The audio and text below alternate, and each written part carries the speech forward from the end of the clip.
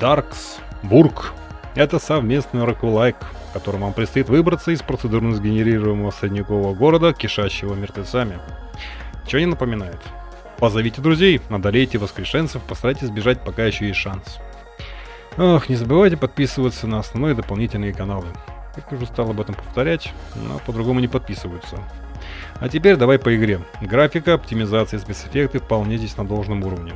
Сразу напишу. Мне не понравилось то, что нет никакого сохранения прогресса, который мы достигли. Да, э, тут его просто нет, надо пройти до конца. У меня лично столько времени, как правило, нет. Игра здесь с видом сверху.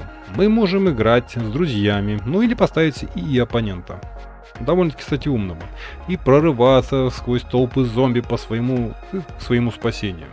Правда, выбирать здесь приходится из персонажей с довольно уникальными и интересными, эм, так сказать, характеристиками. К примеру, Чумный Доктор, задачей которой является просто нанесение максимального урона по толпам врагов. Сестра с крестом на перевес в виде оружия. Повар с поварешкой и супчиком, так полагаю, кстати говоря, хилит, насколько я понял. Полуволк, который, как ни странно, любит людей на завтрак. И, наконец, арбалетчица с белочкой. По поводу белочки комментировать ничего не буду. Вот из этого состава вам и придется выбирать себе четырех оппонентов. Можно, кстати, меньше поставить.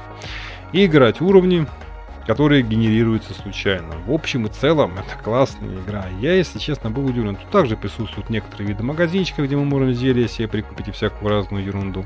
И сундучки, где мы можем хранить найденный лут. Игра хорошо очень сделана. Я, правда, не понял ничего насчет сохранения. И насколько я вообще-то понял, его вообще нет. Напишите, пожалуйста. Вот играл, не знаю, более час или двух. Я, в принципе, сейчас в игры... Ну, играю, конечно, час-два, но не сразу. Не за один заход.